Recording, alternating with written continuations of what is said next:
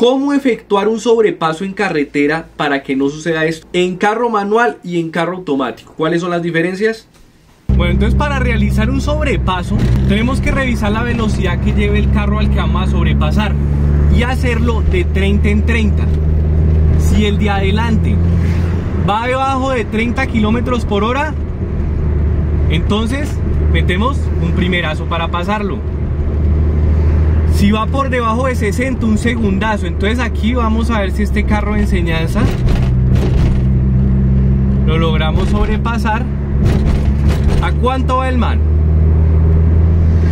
A 50 más o menos va. Venimos en tercera y entonces hay que darle un pequeño golpe de gas porque obviamente es una velocidad elevada para el cambio. Pero es que si no, no vamos a poder. Entonces toca hacerle un, un golpe de gas. Entonces miren.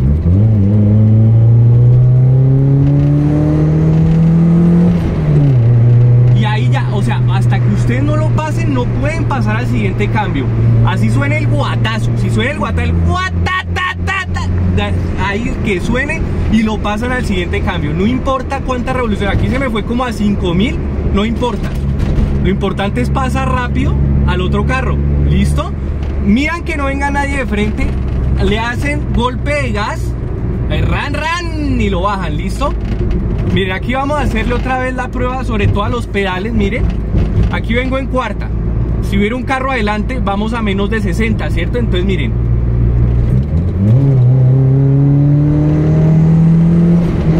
¿Sí ven?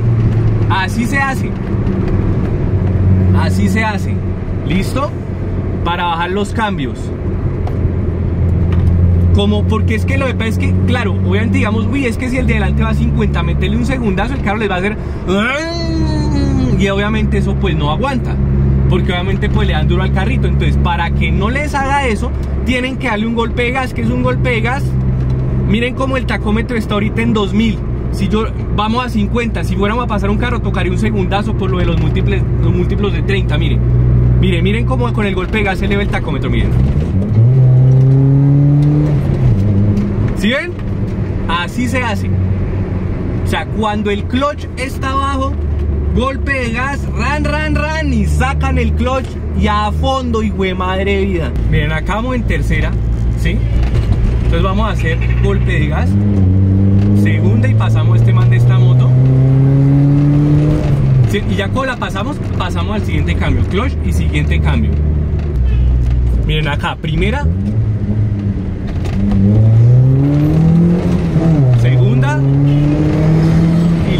pasamos, y de madre. ¿Sí vieron? Obviamente, ¿por qué primera? Porque el man de adelante iba a menos de 20, entonces hicimos golpe de gas, la primera se acaba tan rápido, por ahí a las 5000 RPM, 5000, casi 6000, segunda y listo, y va para abajo, derecho. Como se dan cuenta, el carro va muy bajo de revoluciones. Si yo quiero realizar un sobrepaso acá, no, nunca. O sea, bueno, sí, porque este carro es 2 litros turbo, pero digamos, ustedes vayan a hacer esta maniobra en un Kia Rio automático, en un Kia Picanto. Pues estoy hablando de carros que tengan la cilindrada baja, no sean turbo y sean automáticos. Entonces, obviamente, no, no, no, el carro no va a responder. Entonces, ahí toca pasarlo a modo manual.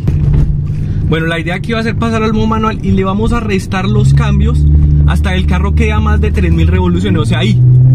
Y acelerador a fondo.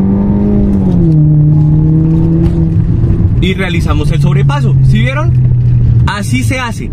Y también quiero que vean otra cosa, no es necesario irle subiendo los cambios con la palanca.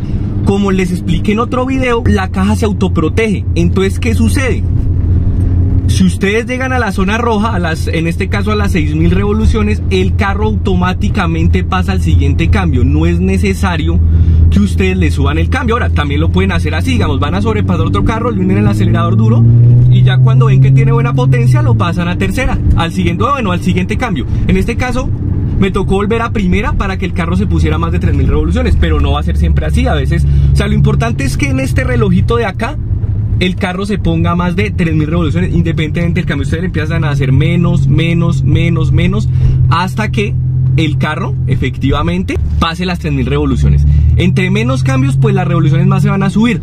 Entonces ustedes buscan una relación, ahorita creo que me estaba en tercera o en cuarta, yo fui bajando cambios hasta que él se colocó en a más de 3000 revoluciones. Ahí es el sobrepaso.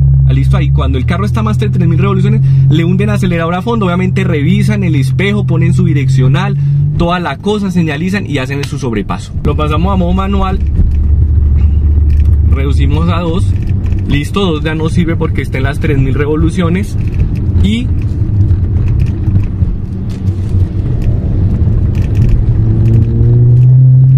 realizamos el sobrepaso. Si lo vieron? Y obviamente metemos todo nuestro acelerador. ¿Listo? Cuando realizamos el sobrepaso. Aquí lo vieron. solo bastó segunda. Y bueno, acá no se nos pasó al otro cambio automático. Entonces, volvemos y le subimos. O la otra opción, o sea, le hundimos el más para que ya las revoluciones se pongan tranquilas. O la otra opción es volverlo a pasar a drive. Listo. Y ya, ya se bajan las revoluciones. ¿Ustedes cuál caja les pareció más sencilla, la manual o la automática? Déjenlo aquí en los comentarios. Bueno, si les gustó este video, regálenme un like. Para los que quieran mis clases prácticas, claro que ahí se están dictando la información únicamente. Se da por Instagram. Me tienen que escribir a mi Instagram un mensaje al interno como arroba vicentico rayal piso B13. Listo, ahí se da la información. Para los que no vivan en Bogotá o no les respondan, no se preocupen, también les tengo mi curso virtual en Patreon. Patreon es como un OnlyFans pero de tutoriales de manejo. Ahí yo subí mis 40 mejores tutoriales de manejo en el orden en el que ustedes deberían de aprender, con un examen final y todo, que es el examen que para sacar la licencia de conducción, ¿listo? Aquí abajo les dejaré como comentario destacado el link para mi curso virtual en Patreon, ¿listo? Nos vemos en un próximo video, chao.